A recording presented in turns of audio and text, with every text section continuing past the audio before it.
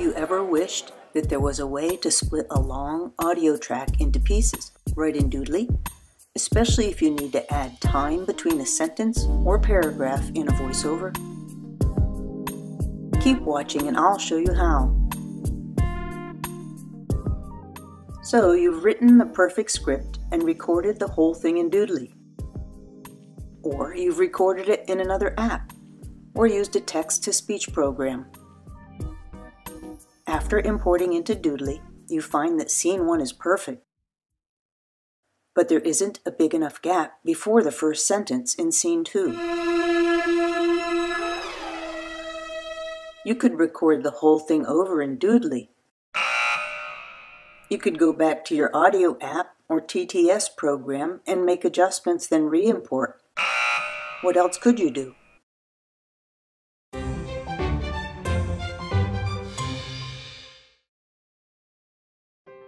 First, click these three dots, then Add Track. This is a great feature if you want overlapping music, voice, and sound effects in the same video. This new line will help split our voiceover, or any audio line for that matter. Then either drag a second copy of your imported audio into the blank line, or duplicate the one in the timeline. Be aware that there must be enough space for the duplicate line to fit beside the original, or Doodly won't let you copy it. Here's a trick that will give you the space you need. Shorten the audio line by hovering over the end, then click and drag the double-headed arrow to the left. Then right-click and select Duplicate. Move the duplicated audio line up, somewhat aligned with the one above it, and extend both to their original length. Right here is where I need to add space between sentences so the words for the next scene start right when it starts. In the duplicate, I'm going to shorten the beginning to include only the last sentence. Then in the original, I'm going to shorten the ending to exclude the last line. Now I have two segments of the original to move independently so I'll scoot the edited segment to where it needs to go. Notice that the regular functions are still there, even though the segments have been edited. You can see that it would be really easy now to add another segment in between as well. Another bonus to having extra audio tracks is that you can customize the volume of individual audio segments or sounds. Now my voiceover matches the scene. But there isn't a big enough gap before the first sentence in scene 2. Fade in, fade out is a feature that works on both music, voice, and longer sound effects in Doodly. Listen closely to the audio in this Doodly clip.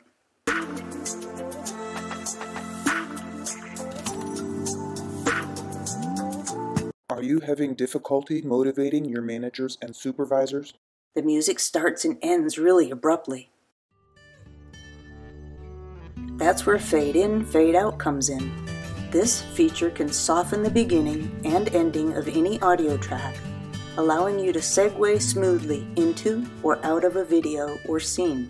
Now listen to this version.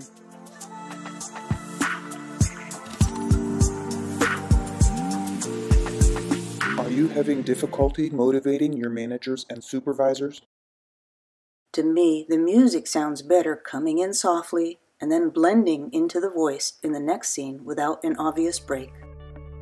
Just right-click on the track, select either of the fades and see that Doodly puts a triangle on whichever end of the track you've chosen. Hover over the wider part of the triangle and drag the double-headed arrow to extend or shorten the fade length undo any fades by right-clicking and unchecking the option.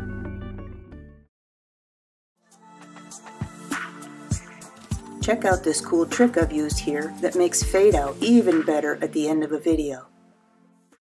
It involves an easy extra step to fade out the scene too, and you can use this tip in any video as well.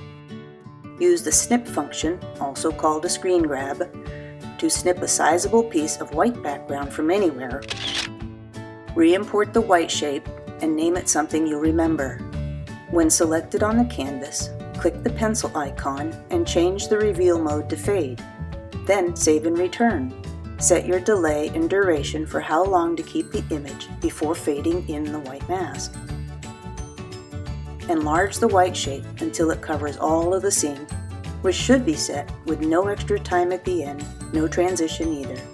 Then add a blank white scene as your last one. Toss in your white masking shape set to no draw so the scene shortens enough, and add extra time of 1 or 2 seconds at scene end and no transition. Extend your audio track into the blank scene and make the fade longer. Not only will your music fade out better, but the addition of the faded in mask will make your scene fade to white too. This technique also works as a fade to black scene ending, and depending on what you snip, to use as a fading mask, as a fade between scenes. Ever have trouble placing your audio or even special effects lines precisely? You can use the marker in the timeline to adjust their positions exactly. My favorite thing about Doodly is the Show Preview mode. You can click anywhere in your timeline to jump to that portion of a scene, and even manipulate the marker to get a better look or to hear the sound better. It seems to be a little more accurate than the regular Doodly preview function. Okay, one more thing. A Doodly user had a problem. Their 10 minute video was complete, but the client then requested a change. They wanted to add a new scene and additional sentences in the middle. For clarity in this tutorial, we'll call this point NSP, for New Scene Point. His timeline was set up with many separate audio segments and an added music track to accommodate sound effects. After adding the new scene, he'd have to move all these segments over one by one to match their corresponding scene's moved positions. That could get pretty frustrating in a long project. Until Doodly has a grouping function, not available in this tutorial's version 2.7.4. This will remain a frustration. Using a video editor instead of this technique would be ideal for this user's problem. I suggested the frustrated user try this. First, duplicate the original Doodly project, and that is great advice for anyone needing to make major changes to their project. Open it and add another music track if the original voiceover is exclusively in the microphone track. Silence everything else by making the volume in those tracks go to zero. If there is an audio segment, such as a sound effect, that will always be in the same place in the voiceover, you can drag it from the silenced track to the one you added. Use the timeline marker to get it to the right spot. In this version, Doodly won't let you duplicate or delete the mic track. Think about this before any big projects and consider if creating with multiple music tracks is a good idea.